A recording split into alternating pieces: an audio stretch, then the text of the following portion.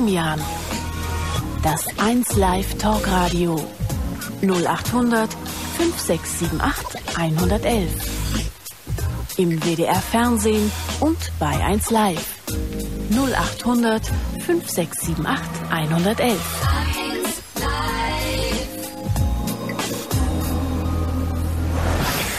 Ja, ihr Lieben, schön, dass ihr da seid. Willkommen bei Domian, willkommen beim 1 Live Talk Radio. Jetzt ist das Fernsehen auch da. Ich sag's nochmal, willkommen bei Domian, willkommen beim 1 Live Talk Radio. Wir haben heute Nacht eine offene Telefon-Talkshow-Nacht hier. Das heißt, ihr könnt mich anrufen, wenn ihr mit mir reden wollt. Egal über welches Thema, ihr könnt mich kostenfrei hier jetzt live in Köln erreichen unter 0800 5678 111 oder ihr könnt mir auch faxen unter 0800 5678 110. Wenn ihr faxt, bitte vergesst nicht eure Telefonnummer draufzuschreiben. Erster Anrufer, erste Anruferin heute Nacht ist die Annette und die Annette ist 17 Jahre. Guten Morgen. Guten Morgen. Morgen, Annette. Was ist dein Thema? Weswegen hast du angerufen? Ja, also ich habe ein kleines Problem. Ich habe ähm, so eine Art Schneckenfetisch, aber man kann dabei nicht um also über einen Fetisch reden, weil ich es selber eklig finde. Also Ich wiederhole mal kurz. Schneckenfetisch. Ne? Hast du gesagt? ja, Das habe ich richtig verstanden. Ja, Das heißt, du stehst auf. Entschuldige, wenn ich das erstmal im Moment mal lache. Das ist Ja. aber jetzt nicht böse gemeint. ja, Äh, Du stehst auf Schnecken, ja. auf diese kleinen glibberigen Dinger, die Ja, so also man muss sagen, auf Nacktschnecken. Auf Nacktschnecken, das sind die, die sind so bräunlich, ne? Ja, genau. Du wirst es nicht glauben. Gerade bevor ich hier in den Sender gefahren bin, habe ich meinen Müll runtergetragen zu Hause. Und was kroch vor unserer, unserer großen, äh, vor unserem großen Müllcontainer auf dem Boden? Eine Nacktschnecke. In der Tat. Und ich hätte beinahe noch draufgetreten. Ich habe es natürlich nicht getan. Ja. Du stehst auf Nacktschnecken. Was heißt denn das konkret? Ja, das bedeutet, dass ich es halt irgendwie toll finde, die über meinen Körper laufen zu lassen. Das findest du überhaupt nicht ekelhaft. Nein, das, das Alle ist Leute. Es, das ist es halt, aber im Moment, wenn ich dir das jetzt so erzähle, finde ich es natürlich sehr eklig. Mhm. Aber es ist halt so, dass es einfach so ein paar, äh, ich weiß nicht, wie man das ausdrücken kann, einfach ein paar Momente gibt, da finde ich das toll. Mhm. Und dann muss ich das auch unbedingt machen. Wie geht das denn? Äh, läufst du dann irgendwo rum und suchst gezielt auf der Straße oder weiß ich, in Waldwegen oder wo man Nacktschnecken findet? Suchst du sie da? Ja, es ist halt so, ich wohne auf dem Land und wir haben einen ziemlich großen Garten und somit ist es kein Problem. Mhm. Da gibt es die Also, fast das ganze Jahr über, ne? Ja. Es sei denn, es ist sehr trocken und sehr heiß, dann, Ja. dann nicht. mhm. Jetzt sammelst wie wie sammelst du die denn? Ja, das ist eigentlich nicht das Problem. Also Nee, ich will es mir nur mal vorstellen. Ge- mit einem irgendeinem Behältnis gehe ich dann nach draußen Mhm. und, Und wie viel, wie viel sammelst du dann auf einen Schlag?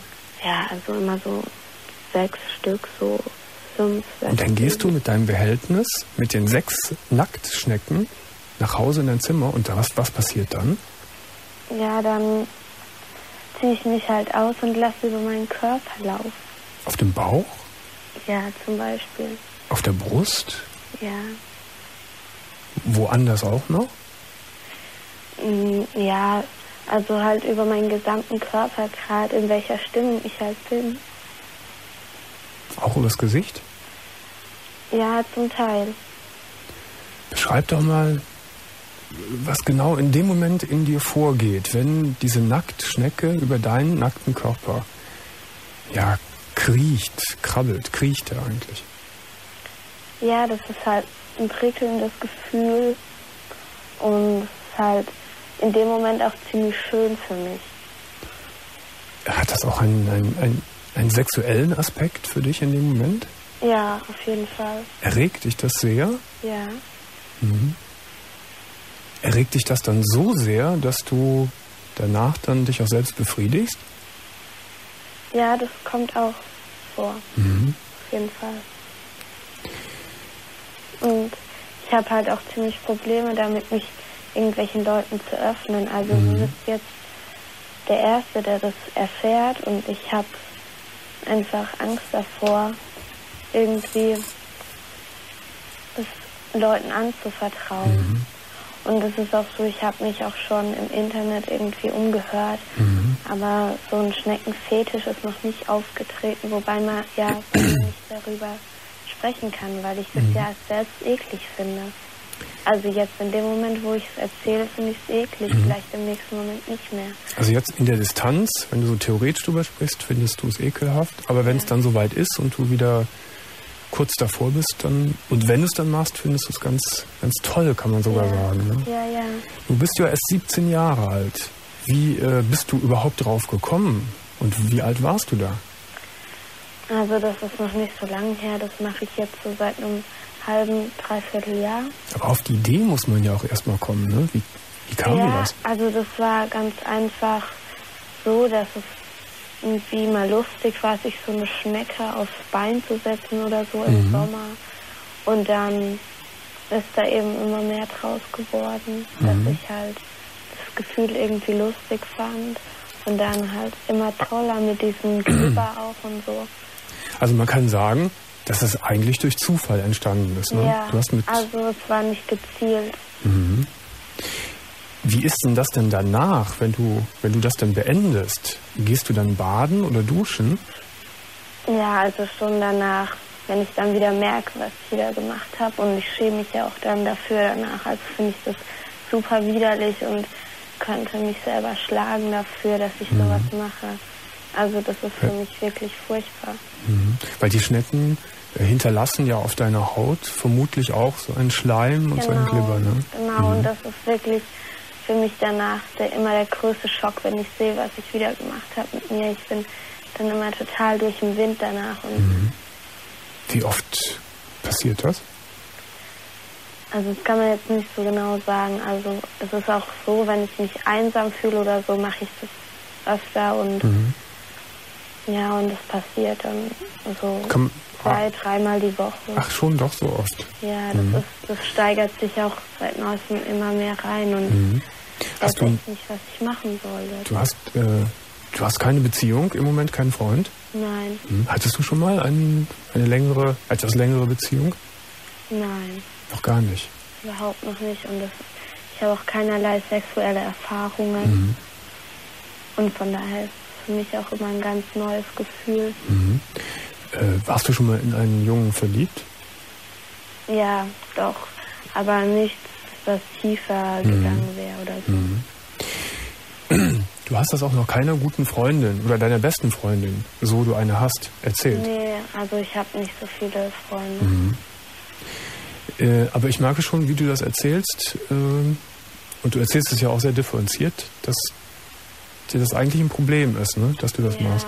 Mhm. Also auf jeden Fall, weil es auch schon mal mein kleiner Bruder reinspaziert und der hat das gesehen auch? Und ich habe und ich habe gerade noch meine Decke drüber gezogen und mhm. es war wirklich haarscharf. Mhm. Und ich möchte auf keinen Fall, dass jemand es mitkriegt. Mhm. Hast du denn schon mal versucht, einfach zu sagen, nein, ich höre damit jetzt auf und mach das? Ich mache es ganz einfach nicht mehr. Ja, aber das ist halt wirklich ein großer Schritt, weil mhm. es einfach zu häufig geworden ist. Also Annette, Annette T., ne? nicht Annette. Ja. Annette T. Ähm, erstmal will ich dir sagen, dass das nichts Schlimmes ist, was du da machst. Das ist sehr ungewöhnlich. Aber dafür muss man sich nicht schämen. Äh, und ganz viele Leute haben auch, machen im Geheimen auch ganz absonderliche Dinge, die ihnen Spaß machen. Mhm. Ich kann aber schon nachvollziehen, dass es für dich äh, schon auch ein bisschen peinlich ist, das zu erzählen. Es könnte ja sein, dass das auch daher rührt, dass du im Moment oder vielleicht noch gar keinen Freund gehabt hast und so Sexualität, wie man sie halt mit einem Partner erlebt, äh, noch gar nicht so hast genießen können. Mhm. Und jetzt suchst du dir das eben für dich alleine und du kombinierst das ja auch mit einer sexuellen Eigenerfahrung, wogegen ja auch gar nichts zu sagen ist. Mhm. Ähm, ich würde jetzt mal Folgendes vorschlagen. Vielleicht liegt da ja auch noch irgendein anderes Problem im Hintergrund dass du mit meiner Psychologin, das ist die Annette, ist eine Frau, gleich mhm. noch mal ein paar Worte redest. Mhm. Äh, ich finde so von meinem, von meinem Eindruck her und von meiner Meinung her, ähm, dass das nicht gravierend schlimm ist. Schöner wäre es natürlich, wenn du dich mal ein bisschen umgucken würdest nach vielleicht nach einem, einem jungen Mann, dass, es, dass du dich verliebst, dass es zu einer Beziehung kommt. Das ist halt sehr schwer. Das ist sehr schwer, wenn man ja. dann den Deckel gefunden hat. Ja, genau. Aber du bist erst 17 Jahre. Manchmal dauert das verdammt lange, bis man mal jemanden gefunden hat, wo das einigermaßen gut ist. Ähm, man muss nur aufpassen in deinem Fall, dass das nicht zu sehr eine Überhand nimmt und dass du nur noch fixiert bist auf, auf diesen Fetisch. In Grenzen gesehen finde ich das okay und du machst deine eigenen sexuellen Erfahrungen damit. Und das ist doch gut. Ja. Aber jetzt unterhältst du dich noch ein bisschen mit der Psychologin. Vielleicht hat die ja noch eine ganz andere Idee oder noch einen, einen anderen Blickwinkel für die Sache. Okay? Ja, ich wollte mich nochmal bedanken. Ich finde es ganz toll, wie du deine Sendung machst. Ich danke dir sehr herzlich und entschuldige mich bei dir, dass ich am Anfang ein bisschen gelacht habe, als du das gesagt hast. Ja, das ist kein Problem. Aber kannst du verstehen, ne? wenn man das zum Ja, allerersten Mal klar, hört, dann. Ja, das ist schon sehr komisch. aber ich habe es nicht böse gemeint. Ja. Gut, Annette, leg bitte mal auf. Und die andere Annette, meine Annette hier, die ruft dich gleich an. Okay? Okay, vielen Dank. Alles Gute. Wenn ihr euch mit mir auch unterhalten wollt, vielleicht über Nacktschnecken oder über andere Dinge, dann könnt ihr mich anrufen, äh, kostenfrei unter 0800 5678 111 oder ihr könnt mir auch faxen unter 0800 5678 110. Als nächstes begrüße ich ganz herzlich den Michael und Michael ist, wie alt ist er? 22 Jahre alt. Guten Morgen. Ja, hallo. Michael, Ja, hi Domian. dein Thema. Ja, mein Thema ist mehr oder weniger, sag ich mal, Prostitution. Mhm. Inwiefern? Warum ist es dein Thema? Und zwar, ich bin Stu- Jurastudent Mhm. und habe eine Freundin, die, sag ich mal, sehr weit über 50 ist, Mhm. die mich auch finanziert. Äh, heißt Freundin, äh, dass du mit der Frau auch zusammen bist? Das ist eine Partnerschaft? Das eigentlich weniger. Es ist mehr eine sexuelle Beziehung. Mhm. Das heißt, äh, du steigst mit ihr ab und zu in die Kiste. Genau. Dafür äh, finanziert sie dich und dein Studium. Kann So man, es. kann man so, so krass sagen? Das kann man so sagen, ja. Äh, Besteht denn darüber hinaus auch eine, ich sage jetzt mal irgendwie eine freundschaftliche oder gut bekanntschaftliche Beziehung oder ist es ein, ein reiner kommerzieller Kontakt, den ihr pflegt? Ja, anfangs war das ja recht freundschaftlich. Wir haben uns kennengelernt, recht gut verstanden, sage ich mal. Und Wie dann habt, wie habt ihr euch denn kennen, wie habt ihr euch kennengelernt? in der Kneipe. Mhm. Ganz einfach. Das war eine sehr nette Dame, mit der kon konnte ich mich sehr gut unterhalten, über meine Probleme und hier und da. Mhm. Und dann ist ja mit der Zeit auch ein bisschen mehr geworden. Du sagst, die ist weit über 50. Wie, wie, wie alt ist sie denn? Ja, so 54, 55 ist 54. es schon. Ja. Und dann wurde allmählich mehr daraus. Genau. Ähm, aber das passiert ja nur auch dann nicht so ganz automatisch. Vor allen Dingen meistens nicht bei dem Altersunterschied. Von wem ging denn da der Schritt aus, dass es mehr wurde und vielleicht auch erotisch wurde? Eigentlich von beiden. Doch von dir auch. Auch Mhm. zum Teil, ja. Warst du denn in die Frau am Anfang vielleicht sogar verliebt ein bisschen? Ja, verliebt ja nicht, aber ich sag mal, mit einer älteren Frau ist das ja auch so ein Kick, ne? Die ist ja auch viel erfahrener als man selbst und Ja.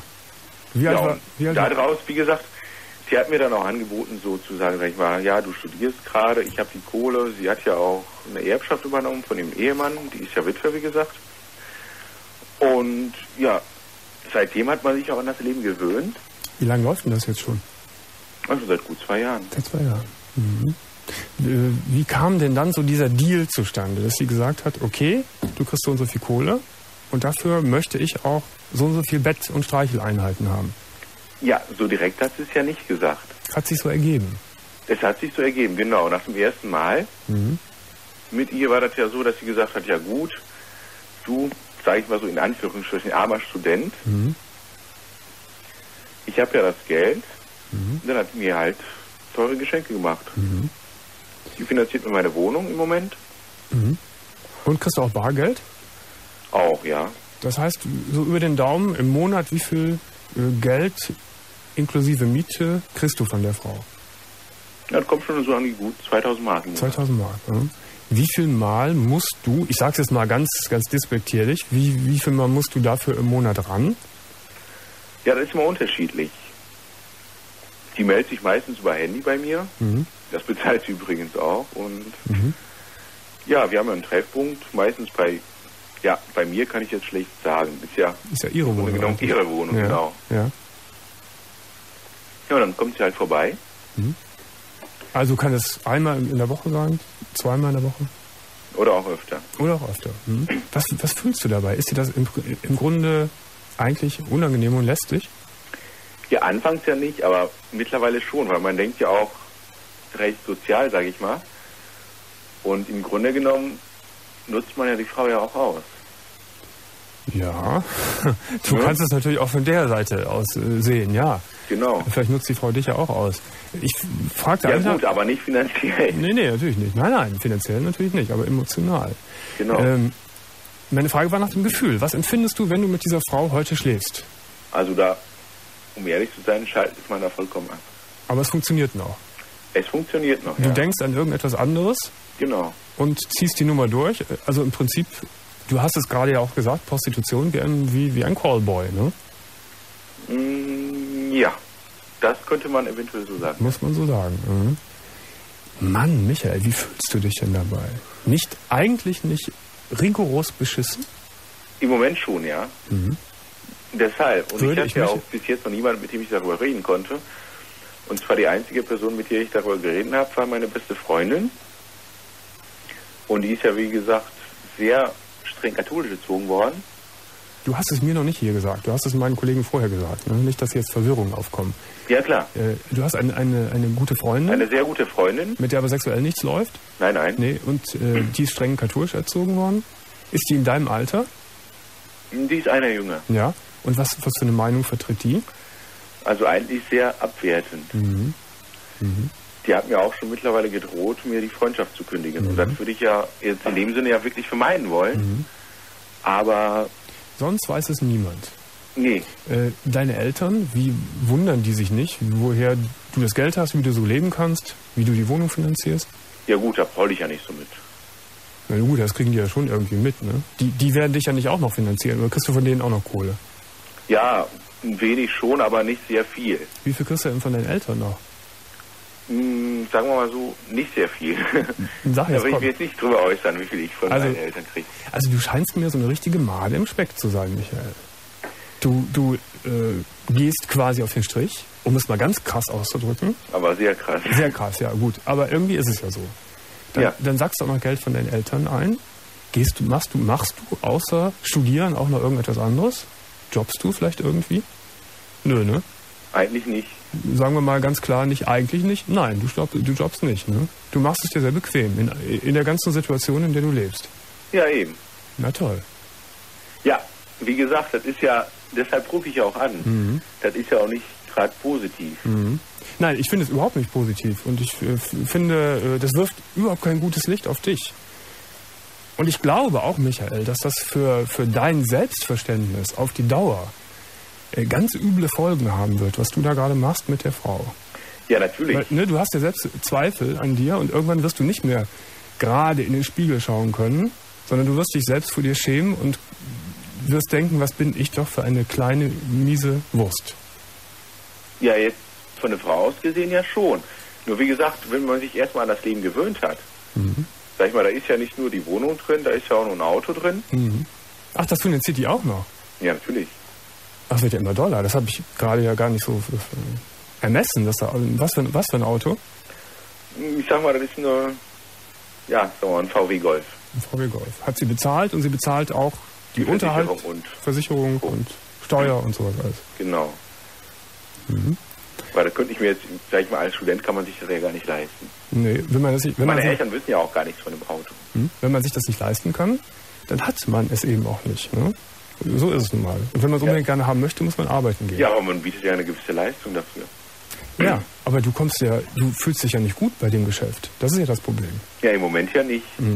Wie gesagt, Mhm. Also, anfangs war ich- das dann so eine kleine Spielerei, Ich, ich, wo man gesagt hat, ja gut, Mhm. das Leben gefällt mir. Aber mittlerweile auch durch meine beste Freundin, die hat mir auch Michael, sehr ich- ins Gewissen geredet. Ja, ich glaube, ich glaube wirklich, dass du äh, dein, dein, du verkaufst deinen Körper und ich höre es ja, dass du das eben nicht so ganz cool als auseinanderhalten kannst und damit jonglierst und du verkaufst deine Seele. Und du wirst besudelt und immer mehr beschmutzt, je mehr du das machst. Weißt du, was du machen musst jetzt? Du musst die absolute Notbremse ziehen. Und alles weg und aufkündigen, was mit der Frau zu tun hat. und dich auf deinen Arsch setzen und selbst einen Job suchen und dein Geld verdienen. Das kann man wunderbar als Student. Kann man ja auch, aber Mhm. sag mir jetzt mal, mal, was spricht denn dagegen, wenn man sich jetzt, sag ich mal, dadurch ein laues Leben verschaffen kann? Weil man sich schlecht fühlt und weil es einen Schaden in, deinem, in deiner Seele und deinem Selbstverständnis mit sich bringt. Und du es ihr selbst, deshalb rufst du ja wahrscheinlich auch hier an, weil du sehr im Zweifel bist. Ja, deshalb, auch wegen der besten Freundin, wie gesagt. Mhm. Du hast, doch- wie viel Selbstachtung hast du noch? Ich glaube nicht sehr viel. Du klingst mir nicht sehr selbstbewusst. Du klingst sehr angeschlagen. Ja, im Moment ja schon. Mhm. Auf ja. das, was du da machst, kann man nicht stolz sein.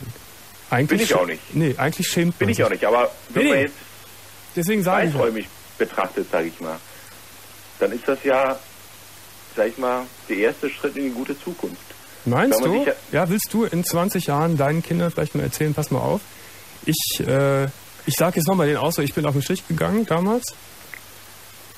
Tolles Vorbild bist du da für deine Kinder. Ja, das ja nicht gerade. Na eben, aber du, du willst sicher auch eine Familie haben und Kinder.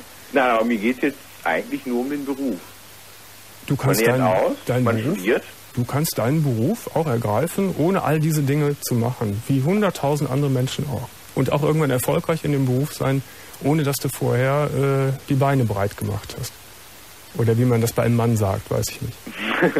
Eher umgekehrt. Eher umgekehrt, ja. Ja, schon klar. Habe ich kein Verständnis für Michael. Finde ich nicht in Ordnung. Ich glaube einfach, dass es äh, nicht nur nicht aus moralischen Gründen, sondern so für, allein für dich. Ich glaube, dass du. Nee, das sowieso aus den moralischen Gründen ist das ja ähnlich. Das ist ja eher schon aus den materiellen Gründen. Da, ja, ja, nein, nein ich, ich, ich werte das jetzt so äh, für dich auch, weil ich glaube, dass du für dich besser wegkommst, wenn du einen Strich unter die Sache machst, Tabula rasa und ein neues, klares Leben äh, anfängst und aufbaust. Ich glaube, dass du ein größeres Selbstbewusstsein bekommst und selbst mehr Selbstachtung haben wirst.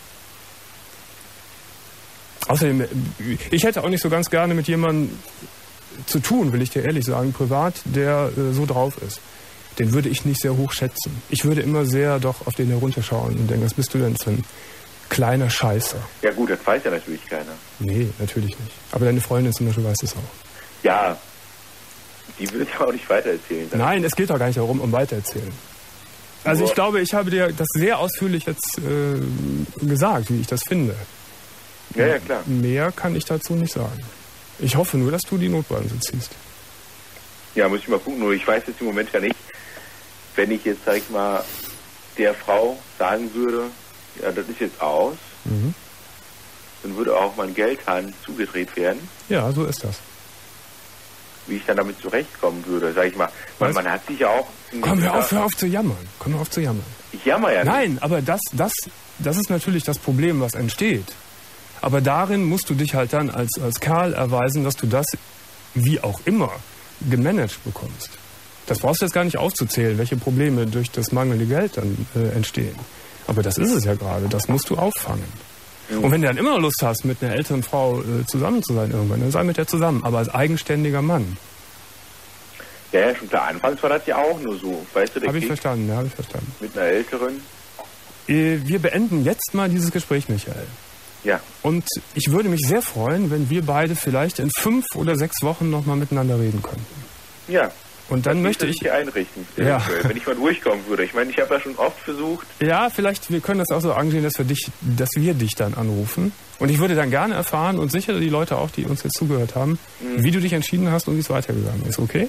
Ja, das wäre super. Also, Ansonsten würde ich dir nur alles Gute für deine Sendung. ja, ich danke dir. Und der Annette, die vorher angerufen hat, Ja, mit den Schnecken. ja, Ich sag mal so, die hat ja das Recht, ihr sexuelles Leben auszuleben. Mhm. Soweit es jetzt, sag ich mal, nicht übergreift in ihr Mhm. alltägliches Leben, soll sie es weitermachen. okay, das ist deine Meinung noch Befriedigung findet. zu Annette und der Nacktschnecke. Genau. Tschüss, Michael. Ja, alles klar, Domian. Wiederhören. Bis dann, ciao. Jetzt begrüße ich herzlich in tiefer Freitagnacht hier im WDR-Fernsehen und bei 1 Live im Radio, bei unserer Telefon-Talkshow Domian, den Sascha. Und der Sascha ist 21. Hallo. Hallo Domian. Hallo Sascha. Ja, Warum hast du angerufen? warum habe ich angerufen? Ähm, ich habe Anfang letzter Woche schon mit dir telefoniert. Sag mal ein paar Stichworte. Mit dem Namen allein kann ich noch keine Geschichte so verbinden. Äh, Rollstuhl, Gehirnblutung. Oh, ich weiß. scheiße drauf. Ich glaube, dass wir am, ich glaube, am ersten Tag nach unserer Sommerpause miteinander Hm. geredet haben. Ganz genau. Du warst der, der in so einer ganz schlimmen Pechsträhne war. Richtig. Ähm, es war jemand in deinen Armen, dein bester Freund gestorben, ne? Mhm. So was. Genau. Dann hat deine Verlobte dich verlassen, du hast sie ertappt mit, mit einem anderen Mann, Mhm. Zwei. mit zwei anderen Männern. Und das Allerschlimmste war, fand ich dann auch, dass, dass du schwer erkrankt bist, einen Gehirnschlag bekommen hast, ne? Richtig. Und äh, wir haben uns unterhalten vorige Woche in der Situation, dass du sagtest, du bist halbseitig gelähmt Richtig. und du warst sehr, sehr verzweifelt. Ja. Ja, und jetzt wollte ich äh, dir eigentlich danken, dir und deinem Team. Ich habe sehr, sehr viel liebe Briefe bekommen, sehr viel Faxe Von Zuschauern und Zuhörern. von Zuschauern und Zuhörern, Mhm. genau. Und unter anderem habe ich äh, ja eine Nachricht von Tanja bekommen aus Übach. Mhm. Und äh, ich habe das erste Mal mit ihr letzte Woche Donnerstag telefoniert. Mhm. Wir haben ziemlich lang mit, miteinander telefoniert und wir waren uns irgendwie auf Anhieb sehr sympathisch. Und ja, Tanja ist in der Nacht noch zu mir gekommen. Ist das wirklich wahr? Ja, Äh, weil das, das große Problem bestand ja auch darin, dass du sagtest, du hast fast überhaupt keine Leute, keine Freunde und keine Bekannten. richtig. Du liegst in einem äh, ja, eine Art Pflegeheim oder einem Ja. betreuten Wohnheim, ne, so kann man das sagen. genau, Und außer dem Personal hast du keinen, keinen direkten Kontakt. richtig.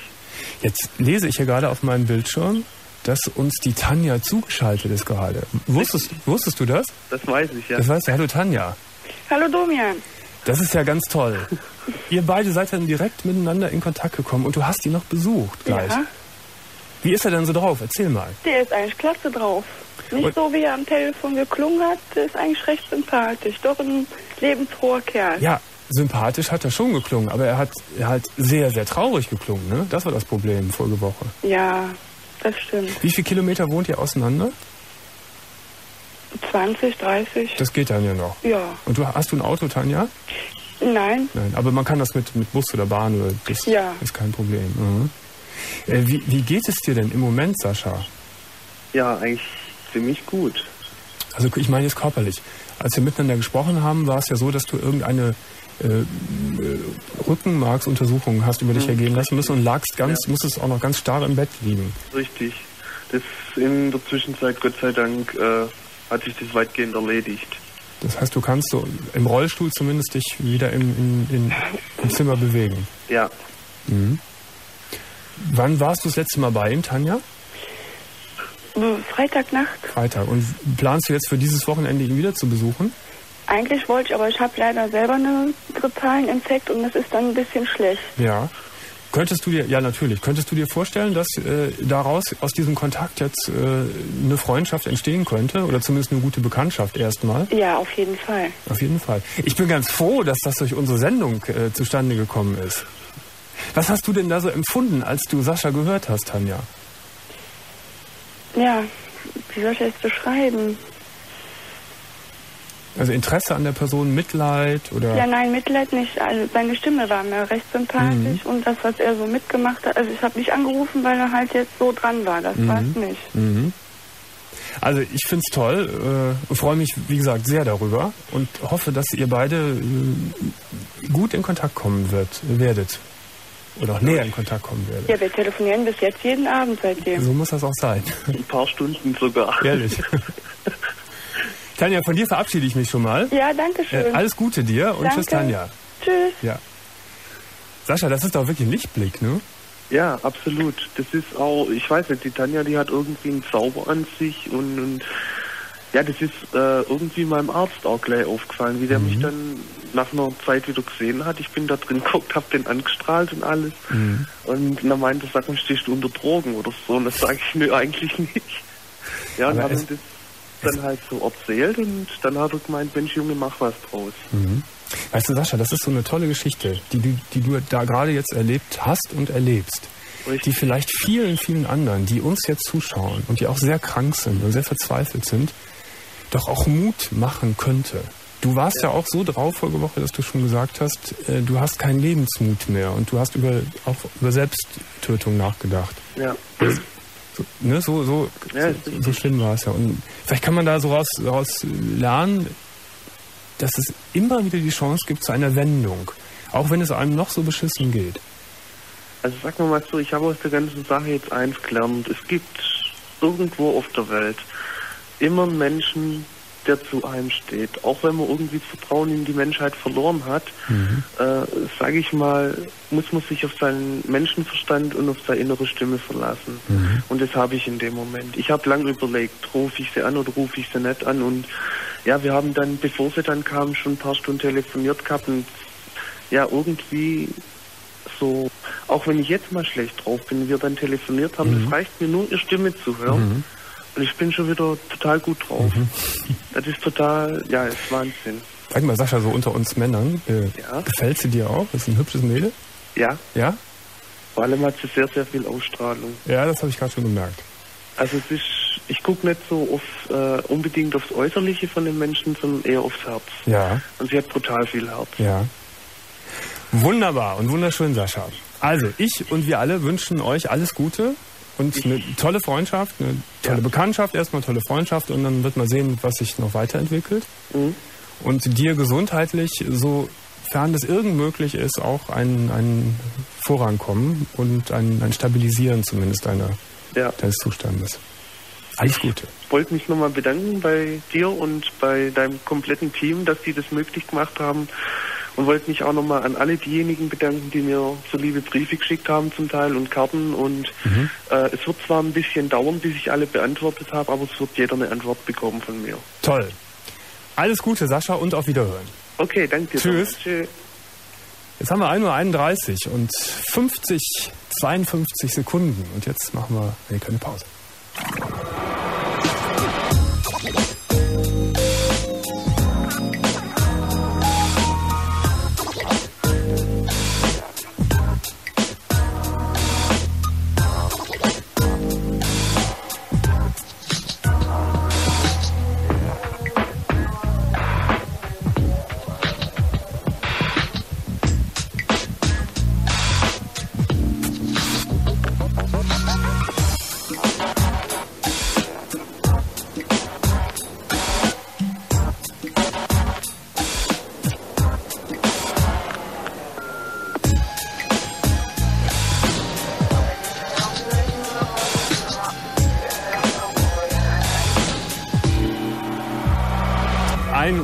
32 und 50 Sekunden. Hier ist Radio 1 Live und das WDR Fernsehen mit der WDR Telefontalkshow Domian. Heute Nacht haben wir eine freie Themennacht, eine offene Telefontalkshow und das bedeutet, das sage ich euch, die ihr vielleicht zufällig heute Nacht zum allerersten Mal hier reingezappt seid oder das Programm eingeschaltet habt, das bedeutet, dass man hier anrufen kann, live. Äh, mit jedem Thema, äh, über das ihr euch gerne unterhalten wollt, mit mir hier. Und ihr müsst dann nur diese Telefonnummer wählen und dann klappt es vielleicht sogar. 0800 5678 111 oder ihr könnt auch faxen unter 0800 5678 110. Jetzt freue ich mich auf Eva und Eva ist 23 Jahre alt. Schönen guten Morgen. Ja, hallo Domian. Hallo Eva. Ähm, ich möchte erstmal sagen, ich bin jetzt sehr aufgeregt und. Das ist ähm, völlig normal. Ja, es ist auch äh, eine sehr ernste Geschichte, über die ich sprechen möchte. Mhm. Also um, es geht um meinen Bruder, der ist zwei Jahre jünger als ich, der ist jetzt 21. Ja. Und ähm, der ist da in Kreise reingeraten. Ich glaube, die sind gar nicht gut und diese Leute oder ich sag mal eher dieser Mann, der bedroht mich jetzt auch schon und meine kleine Tochter, weil ich mich halt in die ganze Sache mhm. eingemischt Was hab. sind das denn für Kreise oder was ist das für ein Mann? Ähm, dieser Mann ist, ähm, naja, er ist 70 Jahre alt. 70 Jahre alt? Er ist 70 Jahre alt und er nutzt halt die Alkoholsucht meines Bruders für sich aus. Inwiefern macht er das? Ähm, er, er benutzt meinen Bruder als, ja, als Sexpartner, als, was weiß ich, als einen Sexsklaven oder sonst was.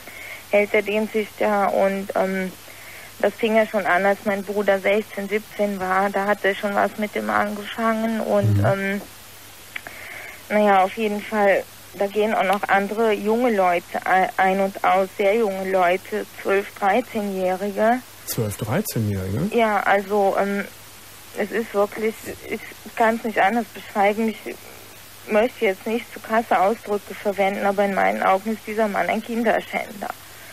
Und ähm, naja, er hat zuerst mal auf gut Freund gemacht, gut Freund der Familie, auch als ich letztes Jahr so schwer krank war und so, da hat er mich dann auch ins Krankenhaus gefahren und alles Mögliche. Aber ich habe auch direkt gemerkt, da, da stimmt was nicht bei den Menschen. Mhm. Und ähm, Sag mal, dein, dein Bruder ist alkoholkrank. ja, aber Mhm. schwer. Schwer. Er ist jetzt schon in, er lag auch schon ein paar Wochen auf der Intensivstation. Äh, er wäre fast ins Koma gefallen und hatte ein paar Mal einen Herzstillstand, musste Mhm. reanimiert werden, ähm, weil er halt so viel getrunken hat Mhm. und das macht sein ganzer Körper jetzt nicht mehr mit. Und dieser Mann, äh, dieser ältere Herr, Ja. ähm, unterstützt er deinen Bruder finanziell auch? Äh, er unterstützt ihn, indem er ihm Alkohol gibt. Mhm. Also mein Bruder, der ist, der ist so auf den Alkohol fixiert. Er denkt eh, das Leben hat keinen Sinn mehr, weil mein Vater ist sehr früh gestorben und das war für meinen Bruder ein Schock. Und mein Vater war auch älter und er wäre jetzt in dem Alter gewesen, in dem Alter halt jetzt dieser Mann ist. Ist, äh, ist denn sicher, dass es eine sexuelle Verbindung zwischen den beiden Ja. auch gibt? Ja. Hat dein Ja. Bruder dir das gesagt? Ja, Ist dein Bruder schwul? äh, ja, so wie er das sagt. Mhm. Äh, oder ist das nur bezogen auf, auf, auf diese Verbindung zu dem, zu dem Mann? Ich weiß es nicht, aber ich glaube, mein Bruder ist, also ist, ist wirklich schwul. Er hat noch nie eine Freundin gehabt und noch nichts und sich auch noch nie sonderlich für Mädchen interessiert. Nun ist er ja 21 Jahre alt, er ist ein, ein wenn auch junger, aber erwachsener Mann. Ja. Äh, ich könnte mir vorstellen, dass du auch eingehend äh, ihm schon äh, ja, mit ihm geredet hast und äh, ihm ins Gewissen geredet hast. Was, Ja. was sagt er? Ähm, ihn interessiert das nicht. Ich soll mich zum Teufel scheren, vor allem wenn er getrunken hat. Dann hat er mich schon mit dem Baseballschläger bedroht. Mhm. Hat mir gedroht, er wird mir hier unten die Wohnungstür einschlagen und sonst was mit mir machen. Mhm. Wenn ich mich noch weiter da einmische, es wäre sein Leben. Also ihn interessiert das gar nicht, was du da machst. Nein. Oder was, da, was du denkst oder dass, dass du ihm helfen willst auch. genau, das interessiert Die, du bist auch ganz sicher, dass dieser äh, Mann den, äh, deinen Bruder mit Alkohol versorgt. Das weißt du Ja, hundertprozentig. das weiß ich hundertprozentig. Mhm. Hast du denn äh, mal Kontakt mit diesem Mann aufgenommen und ihn mal Ja. zur Rede gestellt? Ja, habe ich. Und? Und? dann ist das ja ganz ein bisschen eskaliert. Das war jetzt so Juni, Juli rum, ich weiß nicht mehr genau. Da war mein Bruder wieder verschwunden für ein paar Tage. Meine Mutter und ich, wir haben nichts von ihm gehört. Und ähm, dann habe ich gesagt, so jetzt reicht's. Dann hat noch ein Freund von mir hier angerufen und meinte, dein Bruder springt nackt hier bei uns am Badesee rum und der ist total betrunken und der, ähm, der Mensch ist auch dabei. Also dieser, ja, Hast du denn dann mit diesem Mann mal persönlich unter vier Augen geredet? Genau, dann sind wir halt dahin gefahren, zuerst mal zum Badesee, da war aber keiner mehr. Dann sind wir in den Wohnort gefahren, wo der Mann wohnt.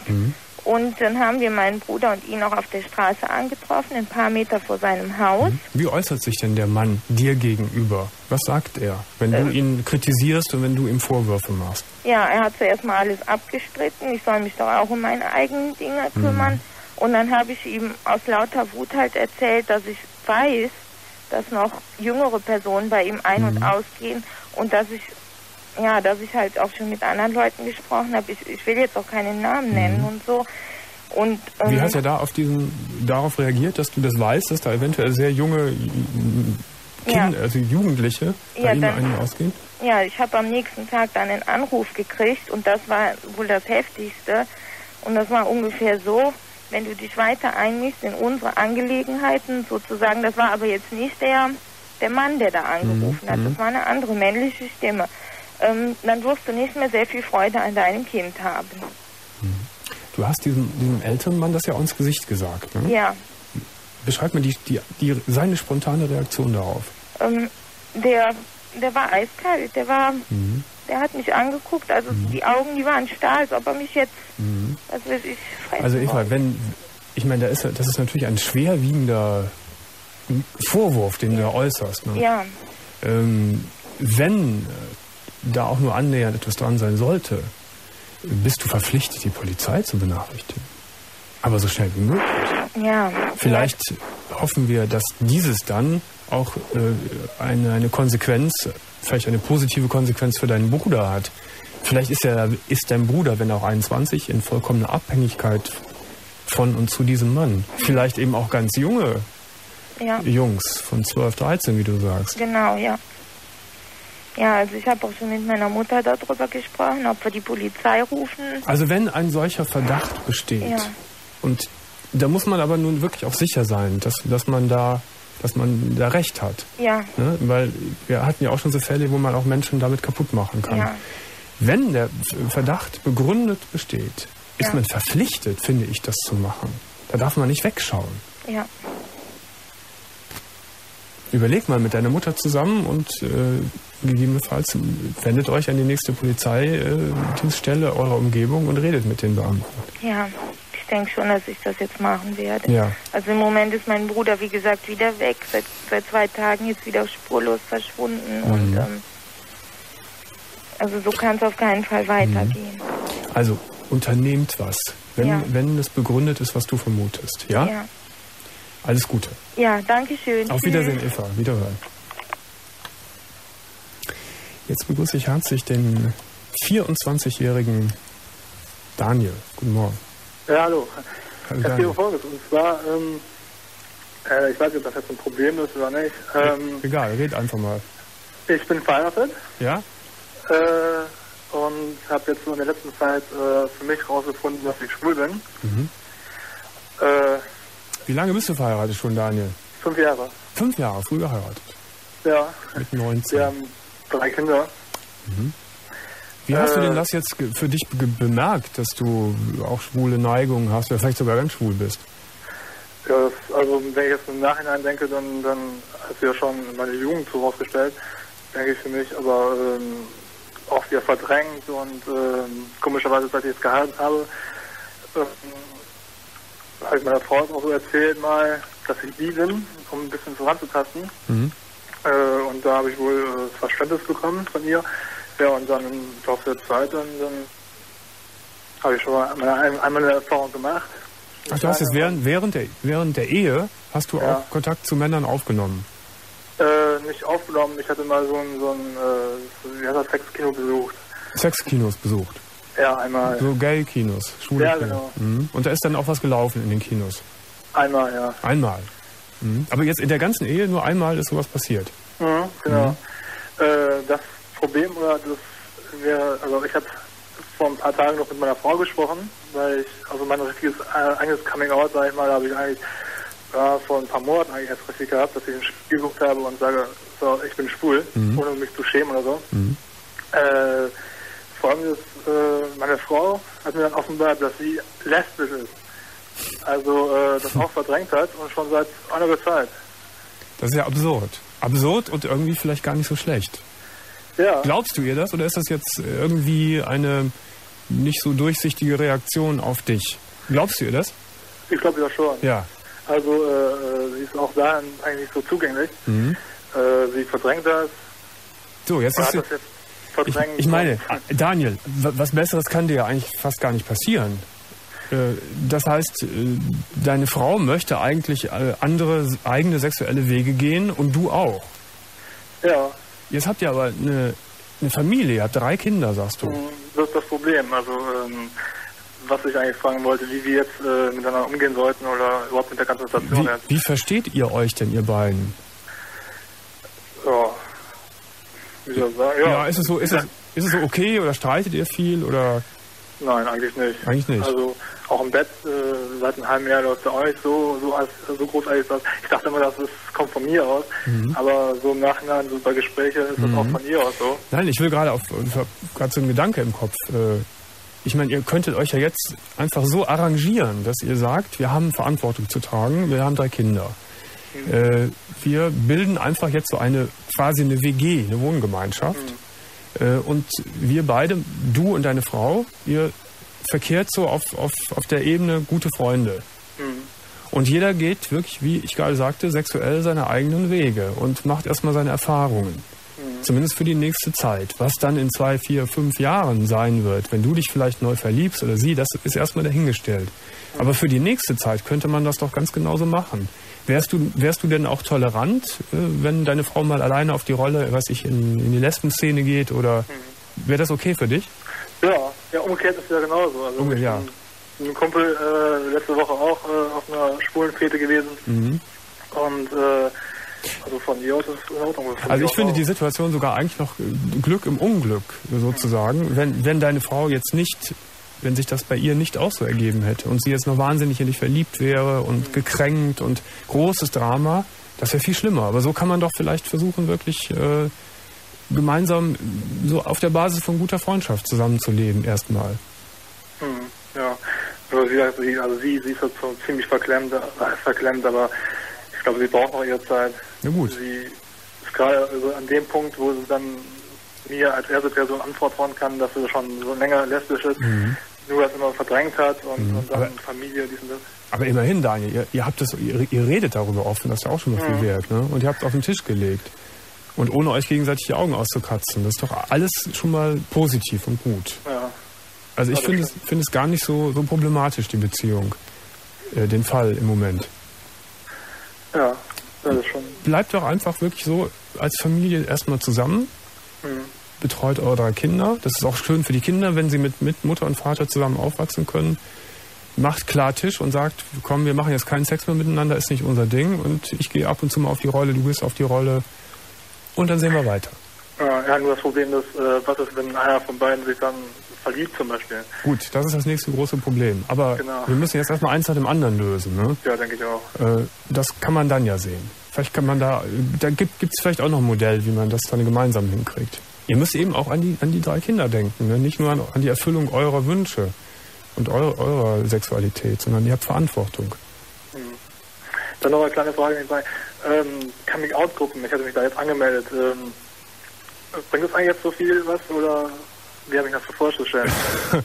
Also ich finde, dass du schon ziemlich weit bist dafür, dass du äh, das alles im Prinzip rein theoretisch so gelöst hast. Du hattest nur einmal einen Kontakt in den letzten Jahren. Äh, ja, weiß ich nicht. Geh mal hin, guck mal, ob es dir was bringt und dann kannst du ja auch wieder, kannst es ja sein lassen. Ich glaube, es wird dir nicht viel bringen, aber das ist jetzt nur so eine subjektive Einschätzung. Brauchst du da irgendwie Adressen oder sowas? nee, das habe ich schon. Das hast du schon. Geh mal hin, guck dir mal die Jungs an und dann äh, kannst du ja selbst entscheiden. Ja, Also schaden kannst du dir bestimmt nicht. okay. Gut, Daniel. Ja, besten Dank. Also dir und der Familie auch alles Gute. Ja, okay. Ne? Tschüss. Tschüss. Claudia ist da und Claudia ist 19 Jahre alt. Schönen guten Morgen. Ja, hallo. Hallo Claudia. Glasklar ist sie in der Leitung. ja. Ähm, mein Thema ist Seelenmord. Seelenmord. Was meinst du damit? Ähm, ich bin mit elf Jahren von meinem Bruder ähm, sexuell missbraucht worden, über längere Zeit hinweg. Mit elf Jahren. Wie, wie lange war, ging das? Ich war 14. Drei Jahre. Mhm. Und wie oft ist das passiert? Mm, unterschiedlich. Manchmal einmal in der Woche, manchmal zweimal, manchmal aber auch öfters. Mhm. Wie alt, äh, wie viel älter ist dein Bruder? Knapp sechs Jahre älter. Knapp sechs Jahre.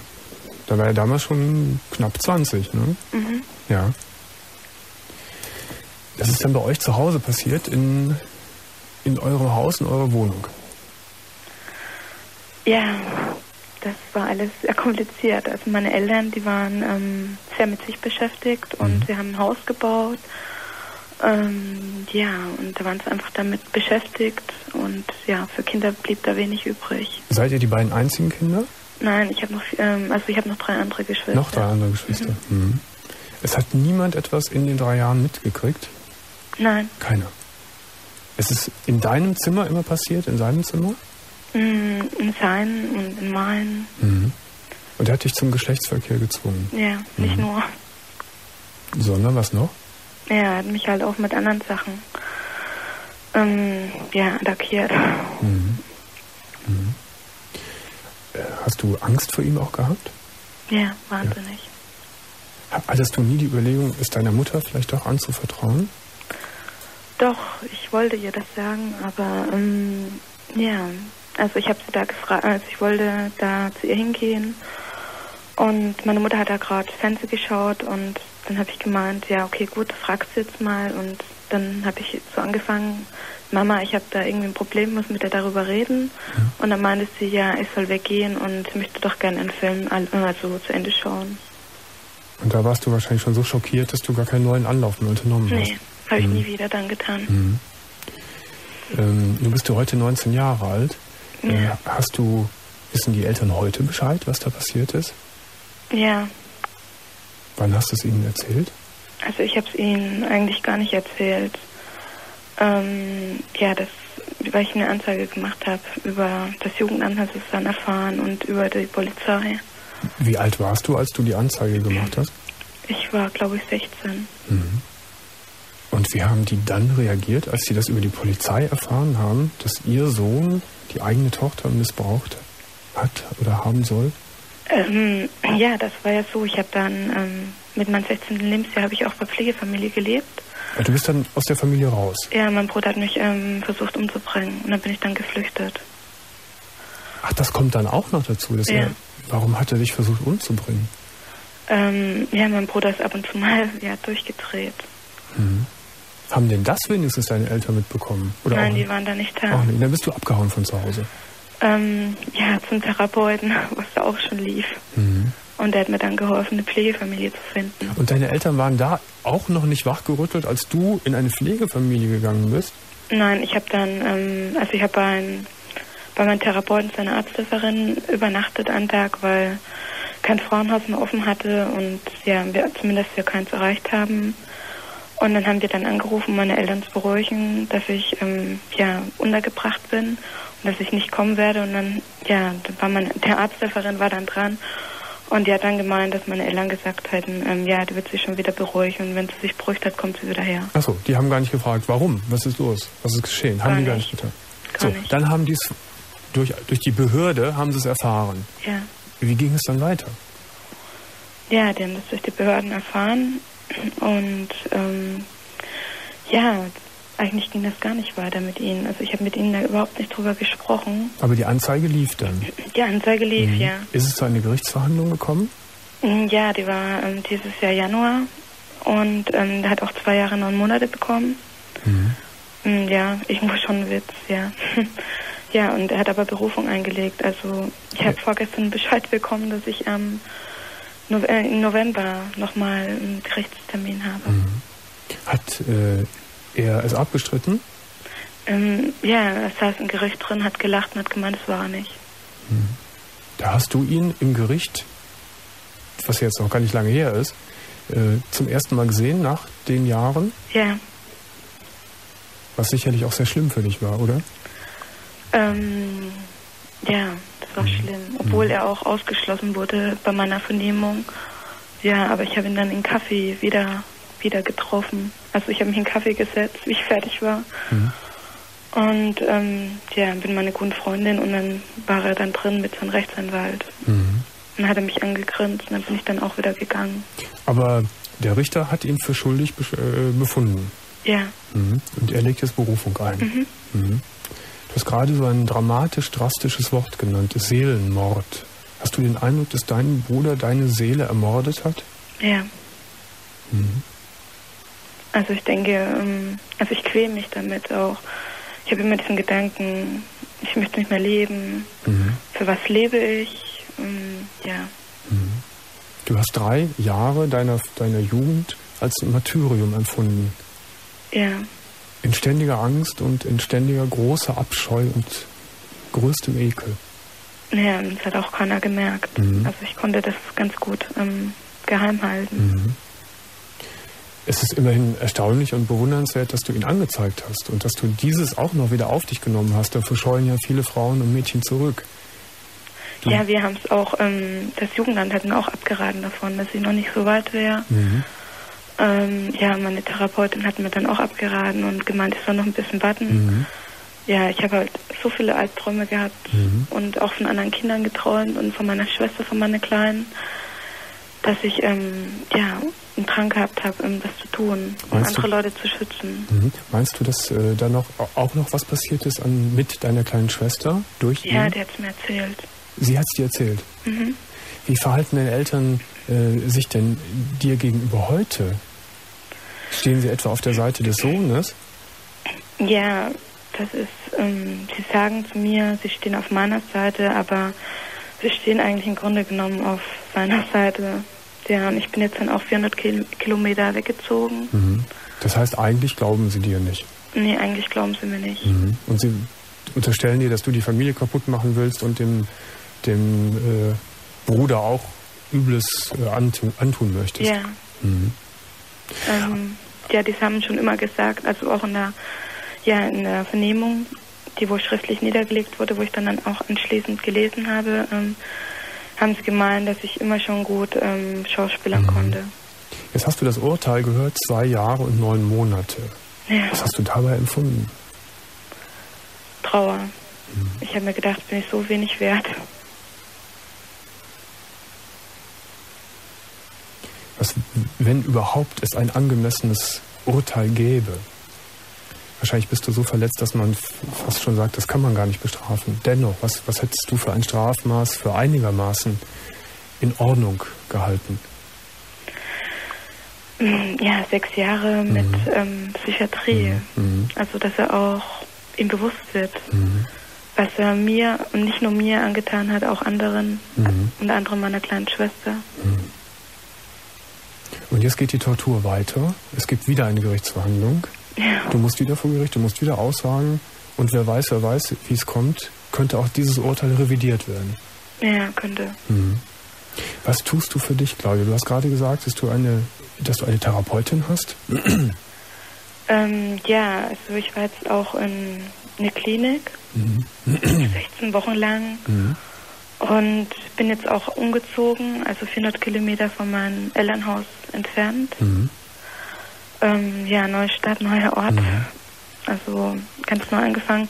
Ich habe zwar jetzt eine Therapeutin gehabt und ja, da ich so viel im Selbstmordgedanken gehabt habe und ich ihr das auch erzählt habe, ähm, kann sie die Verantwortung nicht mehr dafür übernehmen. Deswegen kann ich auch nicht mehr zu ihr gehen. Das heißt, du bist ohne therapeutische Begleitung im Moment. Ja, Das, das ist so, dass sie dann die Verantwortung nicht mehr übernimmt und dich alleine lässt? ähm, ja, sie hat mir angeboten, noch mal in eine Klinik zu gehen. Mhm. Ist es so schlimm im Moment, dass du wirklich daran denkst, dich umzubringen? Also ich denke jeden Tag dran. Mhm. Und Ich habe jetzt mir eine kleine Katze geholt und sie bringt mich ein bisschen von den Gedanken ab. Mhm. Mhm. Claudia, ich habe hier in dieser Sendung, ich mache das jetzt fünf Jahre, diese Telefontalkshow. Haben wir einige Male mit, mit Mädchen und mit Frauen gesprochen, die wirklich ein ähnliches Schicksal hatten, wie du es hast. Ähm, die waren teilweise auch ein bisschen älter und haben mir auch von ihrer Hölle erzählt, in der sie waren, in der du im Moment noch bist. Und die haben mir auch erzählt, dass es immer wieder Phasen gab, wo sie sagten, wo sie dachten, ich kann nicht mehr. Ich schmeiße hin, ich will nicht mehr leben. Und ich sage dir das wirklich in aller Ehrlichkeit. Alle, absolut alle, mit denen ich gesprochen habe, haben gesagt, die älter waren, ich- bin so froh, dass ich die Kraft hatte, es durchzuhalten, weil ich es geschafft habe. Ich habe es geschafft, in, in einer ganz bestimmten Weise dieses zu den Akten zu legen. Verarbeiten, letztendlich werde ich es nie können. Aber ich habe es geschafft, wieder Freude in mein Leben zu bringen. Das kann ich dir jetzt nur so wiedergeben und das mit der großen Hoffnung verbinden, dass dir das auch gelingt. Ich höre im Moment gar nichts mehr. Ich kann mir überhaupt nichts mehr freuen. Na, du hast eine kleine Katze zum Beispiel. Ja, das ist das Einzige. Ja, das ist ja auch schon mal so ein ganz kleines Pünktchen, ein ganz kleines Zipfelchen. Und du bist so jung, du bist 19 Jahre erst. Es, ich, ich bin fast 99,9, fast 100 Prozent sicher, Claudia. Äh, du hast jetzt schon so viel durchgestanden und durchgemacht und scheinst wirklich sehr tapfer gewesen zu sein. Du musst die, andere, die jetzt folgende Zeit auch noch schaffen. Vielleicht wird es gar nicht mehr so lang sein. Und irgendwann wird ein Hoffnungsschimmer auch in deinem Leben auftauchen. Und du wieder etwas Freude erleben kannst und Freude erfahren kannst. Vielleicht sogar irgendwann Liebe. Das geht nicht. Sag es nicht so, sag es nicht so. Vielleicht kommst du in Kontakt mit einem, einem sehr guten Therapeuten, der dir noch, noch eingehender helfen kann. Ja, ich hoffe. Ich bin jetzt im Bedrängnis, weil die Sendung gleich aufhört. Aber ich möchte unbedingt, dass du mit meiner Psychologin, mit der Annette, gleich noch ein paar Worte redest. Ist, Ja, das, okay. ist das in Ordnung? Okay. Dann leg mal auf und die Annette ruft dich gleich an. Okay. Von Herzen alles Gute, Claudia. Darf ich noch ganz kurz Grüße ausrichten? Ja, mach ganz schnell. Ähm, ja, ich möchte meine allerbeste Freundin grüßen, Judith, wo mich auch in der schweren Zeit auch unterstützt. Okay. Ja, Alles Gute, Claudia. danke. Wiederhören. Tschüss. So, meine Lieben, es schaffe ich es nicht mehr, euch zu sagen, wer mein Team war. Ich kann euch nur noch sagen, dass wir Montag nicht im Fernsehen sind, aber dafür dann wieder Dienstag mit dem Thema Helden und Lebensretter. Ich wünsche euch ein schönes Wochenende bis Dienstag bzw. Montag.